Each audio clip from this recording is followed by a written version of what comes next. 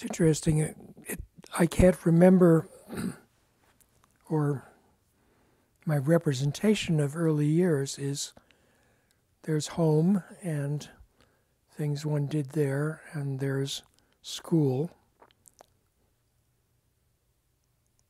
and there's no third world.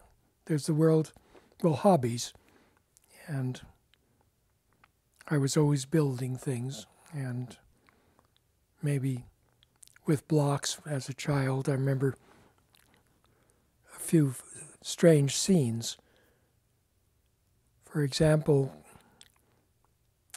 an image that I have repeated many times is building a tower out of Tinker Toys. Tinker Toys are these wonderful objects made of little round spools with holes in them and little round sticks. And you make things by putting the sticks in the holes. And it's sort of the opposite of Lego. Because if you Lego became popular, but it's bricks and you can only have right angles. And to make something strong, you have to just pile on a lot of things because with Lego blocks, there's really no way to make a triangle. With Tinker Toy, it's almost the opposite because Tinker Toy spools and sticks are kind of optimal because you can make triangles with three sticks and three spools, and a triangle is terribly strong. The reason is it can't change its shape without changing the length of the stick. If you make a square, then then it can do this. It wobbles. I often wonder how many modern children don't understand the strength of structures because all the toys they grew up with were blocks and Legos. Legos plugged together, and you cannot make a triangle.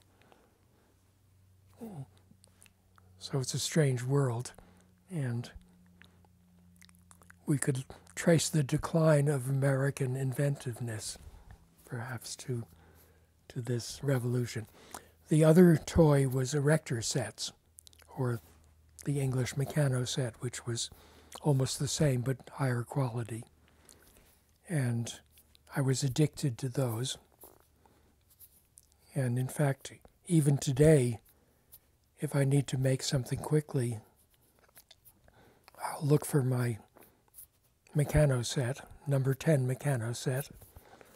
Uh, but it's not home, it's at my uh, son Henry's house so that his my grandchildren can play with it. But that was a world that I lived in. If I wanted to build something, I could make something quickly out of these construction sets. An, there was another Swedish one called Fac, which was more like Tinker Toy, and it had clamps and rods. And between the Erector and Meccano sets, which allowed you to build structures with beams and cross braces, and the Fac sets and so forth, where you, where you could make pulleys and gears work very well. With that kind of equipment, a child could build engineering prototypes of, of rather complicated things, which are almost impossible today for a child to build because all the child has is Lego, which makes it very hard to get gears to and pulleys to work. So it's a it's a curious thing that the toys became more sophisticated but more realistic and less flexible.